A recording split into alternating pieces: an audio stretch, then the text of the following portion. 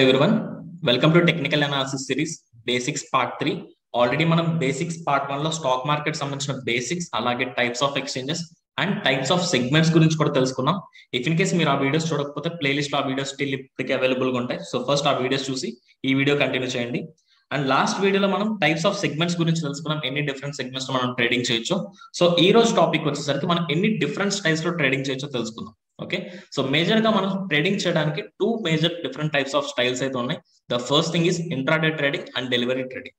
ముందుగా ఈ intraday trading అంటే ఏంటి? డెలివరీ ట్రేడింగ్ అంటే డెఫినేషన్ చూసుకుని అండ్ ఇంకా ఫర్దర్ దీనికి రిలేటెడ్ ఉన్న అడ్వాంటేజెస్ డిసడ్వాంటేజెస్ని ఒక త్రీ ఫ్యాక్టర్స్ ఎక్స్ప్లెయిన్ చేయడానికి ట్రై చేస్తాను. So let start with the basic definition of intraday trading. Intraday trading అంటే మనం బయింగ్ అండ్ సెల్లింగ్ అనేది సేమ్ డే చేస్తే దాన్ని ఇంట్రాడే ట్రేడింగ్ అంటారు. బేసిక్గా మనం ట్రేడింగ్ చేయడానికి అవైలబుల్ టైమింగ్స్ వచ్చేసరికి morning nine fifteen market open అయితే త్రీ థర్టీ వరకు ఉంటుంది. ఈ టైం పీరియడ్ లోపు మీరు ఏదైనా మార్కెట్ ఓపెన్ అయిన తర్వాత ఏదైనా ఒక కంపెనీలో హండ్రెడ్ స్టాక్స్ బై చేశారు అనుకుందాం ఈ రోజు మార్కెట్ క్లోజ్ అయ్యే టైం కల్లా అదే సేమ్ హండ్రెడ్ స్టాక్స్ మీరు సెల్ చేయాలి. So that is called intraday trading so intraday trading అంటే the process of buying and selling should happen within the same day that is called intraday but delivery అంటే దీనికి complete opposite so delivery అంటే ఈ రోజు మనం ఏదైనా స్టాక్స్ని buy చేస్తే ఆ స్టాక్స్ని మనకు నచ్చిన టైం పీరియడ్ వరకు హోల్డ్ చేసుకోవచ్చు.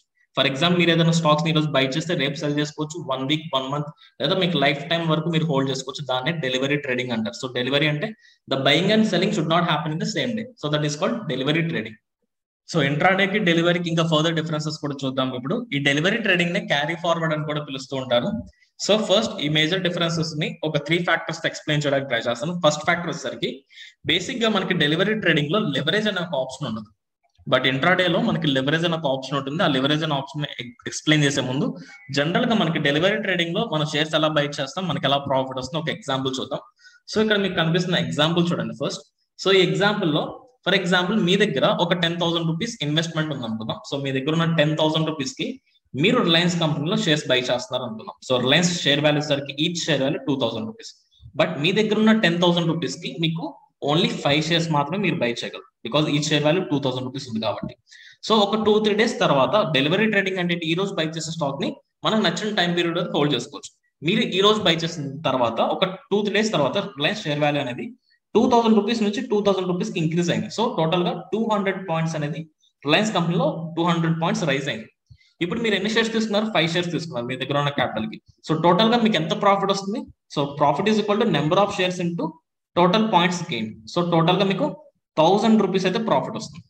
సో ఇది జనరల్గా మనకి డెలివరీ ట్రేడింగ్లో జరిగే ట్రెడిషనల్ బిజినెస్ సో మనం బై చేసిన దానికి మన షేర్ వాల్యూ ఇంక్రీజ్ అయితే మనకి ఎన్ని షేర్స్ బై చేసామో అంత ప్రాఫిట్ వస్తుంది.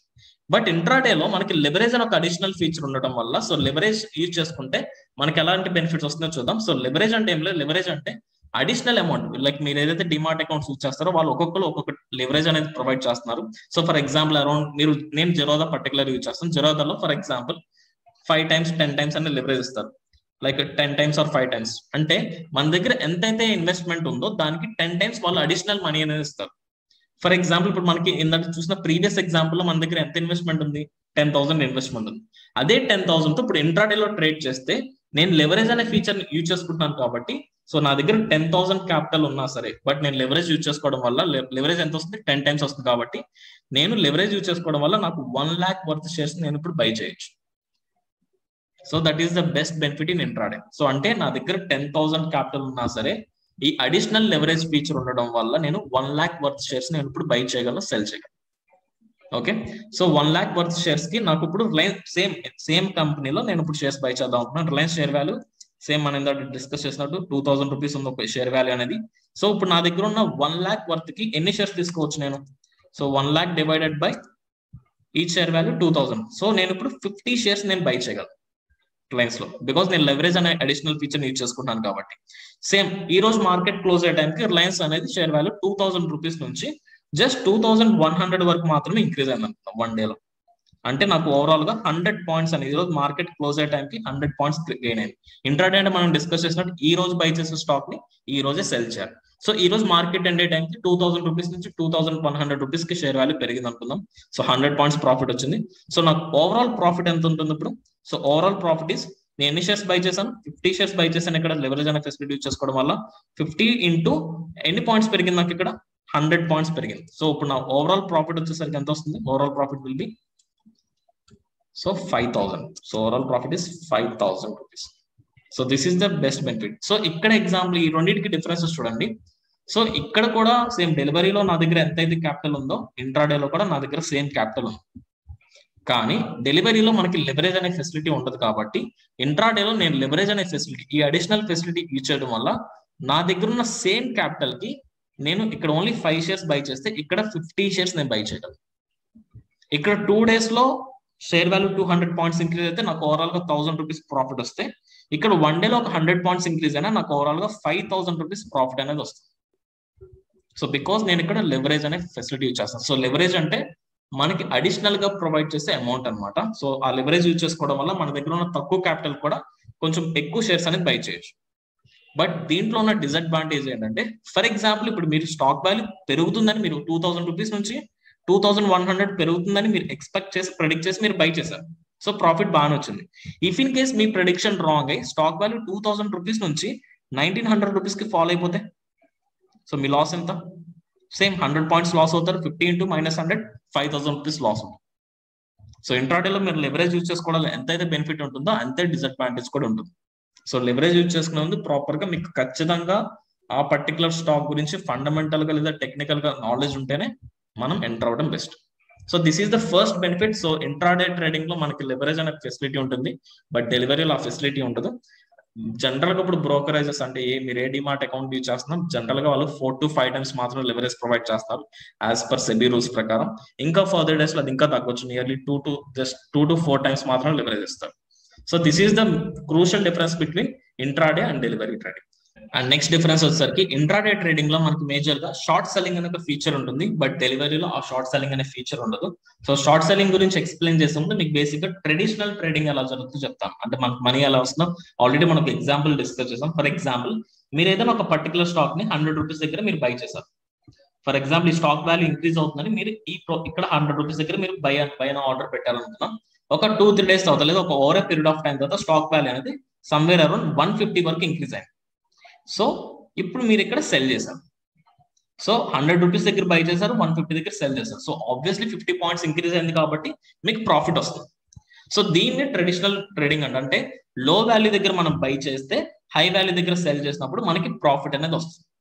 అంటే జనరల్గా ట్రెడిషనల్ బిజినెస్లో మార్కెట్స్ ఇంక్రీజ్ అవుతున్నప్పుడు మాత్రమే మనం మనీ ఎర్న్ చేయగలం. Okay? If in case markets కనుక ఫాలో అవుతూ ఉంటాయి if in case markets increase అవ్వకుండా మార్కెట్స్ ఫాలో అవుతూ ఉంటాయి లైక్ హండ్రెడ్ రూపీస్ దగ్గర నుంచి ఇంకా ఫర్దర్ ఫిఫ్టీ రూపీస్ వరకు పడిపోతే ఇప్పుడు మనకి ప్రాఫిట్ వస్తుందా లాస్ వస్తుందా? సో ఆబ్వియస్లీ లాస్ వస్తుంది. అంటే డెలివరీ ట్రేడింగ్లో మనకి ఓన్లీ మార్కెట్స్ ఇంక్రీజ్ అయినప్పుడు మాత్రమే మనం ప్రాఫిట్స్ తీయగలం. If it case markets crash అవుతుంటే ఏదైనా external factor like for example రీసెంట్గా పాండమిక్ నడుస్తుంది. ఈ పాండమిక్ వల్ల మార్కెట్స్ అనేది క్రాష్ అవుతుంది. ఈ ప్రాసెస్లో మనం డెలివరీ ట్రేడింగ్లో మనం మార్కెట్స్ పడిపోతున్నప్పుడు మనీ ఎర్న్ చేయలేం. బట్ ఇంట్రాడేలో మనకు ఆ ఫెసిలిటీ ఉంటుంది. ఇంట్రాడేలో మనం ట్రెడిషనల్ బిజినెస్ అంటే ఒక లో పాయింట్ దగ్గర మనం స్టాక్ వాల్యూ బై చేసి అది హై వాల్యూ దగ్గర సెల్ చేసి ఎలా ప్రాఫిట్స్ అంటే మార్కెట్స్ ఇంక్రీజ్ అయినప్పుడు మనం ప్రాఫిట్స్ తీసుకోవచ్చు. అలాగే మార్కెట్స్ డిక్రీజ్ అవుతున్నప్పుడు కూడా మనం ప్రాఫిట్స్ తీయచ్చు. అది ఎలాగంటే through the process of short selling short selling అంటే మనం ఫస్ట్ మార్కెట్స్ పడిపోతున్నప్పుడు ఒక హై వాల్యూ దగ్గర ఫస్ట్ ఆ స్టాక్ని సెల్ చేస్తాం. తర్వాత ఒక లో వాల్యూకి వచ్చినప్పుడు బై చేస్తాం. దీన్నే షార్ట్ సెల్లింగ్ అంటారు. సో మళ్ళీ చెప్తున్నా ట్రెడిషనల్ బిజినెస్ అంటే మనం ఫస్ట్లో వాల్యూ దగ్గర ఒక స్టాక్ని బై చేసి హై వాల్యూ దగ్గర సెల్ చేస్తాం. దీన్ని ట్రెడిషనల్ బిజినెస్ అంటారు. ఈ ట్రెడిషనల్ ట్రేడింగ్లో ఓన్లీ మార్కెట్స్ ఇంక్రీజ్ అవుతున్నప్పుడు మాత్రమే మనం మనీ ఎర్న్ చేయగలం. బట్ ఇంట్రాడేలో ఈ షార్ట్ సెల్లింగ్ అనే ఆప్షన్ యూజ్ చేసుకోవడం వల్ల మార్కెట్స్ పడిపోతున్నప్పుడు కూడా ఫస్ట్ సెల్ చేసి తర్వాత బై చేయొచ్చు. దాన్నే షార్ట్ సెల్లింగ్ అంటారు. ఈ ఫీచర్ వల్ల ఇంట్రాడేలో మనం మార్కెట్స్ ఇంక్రీజ్ అయినా డిక్రీజ్ అయినా కూడా మనం మనీ ఎర్న్ చేయొచ్చు. బట్ చాలా మందికి స్టిల్ మీకు ఇప్పటికీ కన్ఫ్యూజన్ ఉంటుంది. లైక్ షార్ట్ సెల్లింగ్ అంటే లైక్ మనం ఏదైనా ఒక స్టాక్ని ఫస్ట్ బై చేయకుండా ఎలా సెల్ చేయగలమని ఒక కన్ఫ్యూజన్ అయితే ఉంటుంది. సింపుల్ ఎగ్జాంపుల్ చెప్తాను. మీరు బయ్యరా సెల్లరా పక్కన పెట్టుకోండి.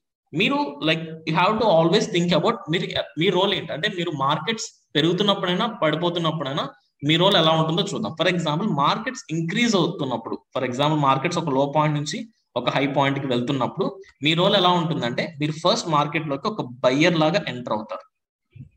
మీ మీ ఎంట్రీ అనేది మీరు బయ్యర్ లాగా ఎంటర్ అవుతారు ఒక సెల్లర్ లాగా ఎగ్జిట్ అవుతారు. బట్ అదే మార్కెట్స్ ఫాలో అవుతున్నప్పుడు మార్కెట్స్ ఫాలో అవుతున్నప్పుడు మీరు ఇక్కడ ఎంట్రీ చేసి ఫస్ట్ సెల్లర్ లాగా ఎంటర్ అవ్వాలి ఇక్కడ.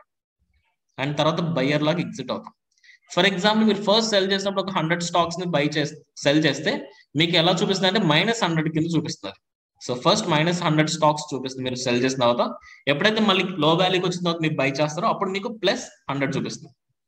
So obviously the ultimate gain is zero so total stocks మీ దగ్గర ఉన్న స్టాక్స్ అనేది జీరో అనమాట ఓకే సో షార్ట్ సెల్లింగ్ అంటే మార్కెట్స్ పడిపోతున్నప్పుడు ఫస్ట్ మనం దాన్ని సెల్ చేసి తర్వాత బై చేస్తాం. దీన్నే షార్ట్ సెల్లింగ్ అంటారు. ఈ ఫీచర్ మనకు ఓన్లీ ఇంట్రాడేలో మాత్రమే ఉంటుంది. డెలివరీలో ఉంటుంది so this is the best advantage in intraday trading and ఇంకా నెక్స్ట్ డిఫరెన్స్ వచ్చేసరికి మనం చార్జెస్ గురించి కూడా మాట్లాడుకోవాలి. సో కంపేర్ టు ఇంట్రాడేతో కంపేర్ చేసుకుంటే డెలివరీలో కొంచెం తక్కువ చార్జెస్ పడుతుంది. ఫర్ ఎగ్జాంపుల్ ఈక్విటీ సెగ్మెంట్లో మీరు ట్రేడింగ్ చేస్తే డెలివరీలో మీకు ఆల్మోస్ట్ జీరో బ్రోకరేజ్ పడుతుంది బట్ ఇంట్రాడేలో ట్వంటీ రూపీస్ పర్ ఆర్డర్ పడుతుంది. సో ఇంకా అదర్ సెగ్మెంట్స్లో కూడా చూసుకుంటే లైక్ ఎఫ్ అండ్లో కానీ కరెన్సీ పేర్స్లో కానీ లేదా కమోడిటీస్లో ట్రేడ్ చేసుకున్న ఇంట్రాడేలో కొంచెం ఎక్కువ చార్జెస్ అనేది పడుతూ ఉంటుంది కంపేర్ టు డెలివరీ అండ్ ఓవరాల్గా డిఫరెన్సెస్ చూసుకుంటే first thing is leverage so leverage అనేది ఇంట్రాడేలో ఉంటుంది బట్ డెలివరీలో ఫెసిలిటీ ఉండదు. దో లెవరేజ్ యూజ్ చేసుకున్నా మనకి ప్రాపబిలిటీ లైక్ ప్రాఫిట్ తీసుకోవడానికి ఎంత ప్రాపబిలిటీ ఎక్కువ ఉంటుందో లాసెస్ కూడా అంత రావడానికి ఎక్కువ ఛాన్స్ ఉంటుంది. సో రిస్క్ ఫ్యాక్టర్ ఎక్కువ ఉంటుంది కాబట్టి so be aware of that and next thing వచ్చేసరికి షార్ట్ సెల్లింగ్ ఇంట్రాడేలో మనకి షార్ట్ సెల్లింగ్ అనే ఫీచర్ ఉంటుంది బట్ డెలివరీలో ఆ ఫీచర్ ఉండదు. And last one charges so charges అనేది ఇంట్రాడేలో కొంచెం ఎక్కువ ఉంటుంది compare to delivery so these are the major differences between intraday and delivery hope మీకు ఈ వీడియో అండ్ డిఫరెన్సెస్ కూడా చాలా క్లియర్గా అర్థమైంది అనుకుంటున్నాను. And so if in case మీకు ఏదైనా పర్టికులర్ టాపిక్ గురించి మీకు వీడియోస్ కావాలనుకుంటే కమెంట్ సెక్షన్లో మెన్షన్ చేయండి. మీకు ఏ టాపిక్ గురించి కావాలో. ఆ టాపిక్ గురించి కూడా వీడియోస్ చేయడానికి ట్రై చేస్తాం. అండ్ ఇంకా మీకు ఏమైనా ఫర్దర్ డౌట్స్ ఉంటే డిస్క్రిప్షన్లో మా నెంబర్ ఉంటుంది. You can call us at any time so if in case మీకు కనుక మా వీడియోస్ నచ్చినట్లయితే దయచేసి ఈ వీడియోని లైక్ చేయండి షేర్ చేయండి. అలాగే సబ్స్క్రైబ్ చేసుకుని సో పక్కన ఉన్న బెల్ ఐకాన్ క్లిక్ చేసుకోండి మీకు ఇంకా ఫర్దర్ అప్డేట్స్ వస్తుంది. So thanks for watching the video this is Karthik Nagidi signing off జై హింద్